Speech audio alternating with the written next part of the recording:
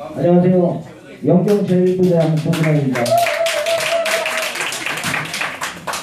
이번에 그 동남아 대회를 하면서 이렇게 서로 알게 돼가지고 정말 뜻깊습니다. 그리고 성공리에 잘 맞춰가지고 이렇게 회단식까지 갖게 돼가지고 정말 뜻깊게 생각하고요.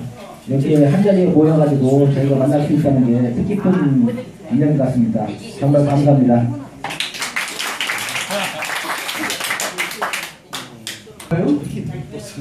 바빠요 안 바빠요? 안 바빠요. 그러면 한 잔씩 먹으면서 그냥 즐거운 자리 하시고 그 명문클럽 권영석 총재님의 그 계시는 인주클럽의 재문을 맡고 있는 김윤이라 합니다. 반갑습니다. 근데 에코가 안 들어갖고 그냥 목소리 내 목소리 잘렸어. 그래서 좋아.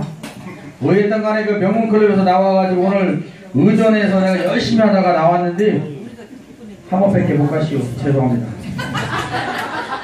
그래도 한다고 했어요. 다 아시는 분 다 아실 거야. 영어가 한다고 못한 거 뿐이지. 어쨌든 간에 그 저기 열심히 했으니까 저를 위해서 한 박수 한번 쳐주시면 안 될까? 네, 감사합니다. 그날 허리 많이 아팠어. 그 저기 하여튼 열심히 하고요. 의전이 있으면 좀 불러줘봐. 내가 의전이라고 하는데 나는 의전 한 번밖에 안 불렀어. 그래서 좀 불러봐 좀 나 좀. 나그 우리 그 총재님이 저기 나 양복 맞춰준 거 한 번밖에 안 입었으니까 잘 되는 서 불러보시면 내가 좀 빛나게 한번 해보겠습니다. 하여튼 총재님 고생하셨고 예. 그 말씀을 책임지실 수 있어요? 아 저는요 정말 아니에요. 어, 근데 저기 전에도 나를 좋아하는 것 같은데 나도 좋아하니까 응 오케이 계속 좋아하세요. 불러주세요. 응.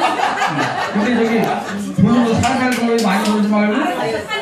나도 저기 내가 공업사 일공업사 하는 사장인지 차를 고치다가 바쁠 때 못 들을 때가 있어. 그러니까 좀 잘 생각해. 말합니다.